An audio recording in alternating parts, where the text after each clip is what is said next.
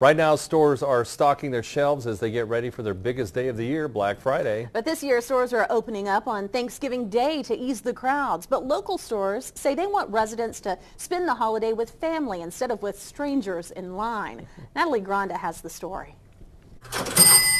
It's time to ring in the holidays by ringing up the sales.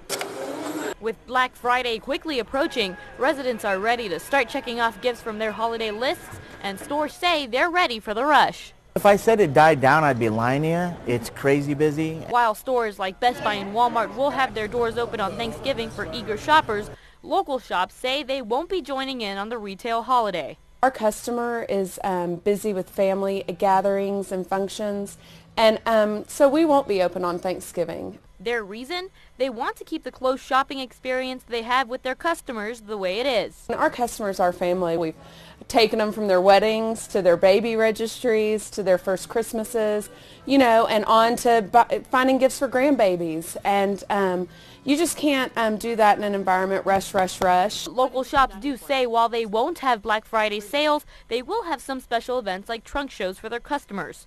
As for the ones looking to find some steals on holiday gadgets, Best Buy says they expect some items to fly off the shelves earlier than others. Tablets, Apple products are always popular.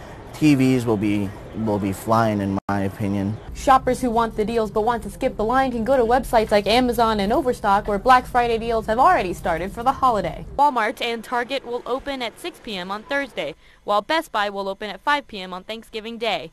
Natalie Granda reporting.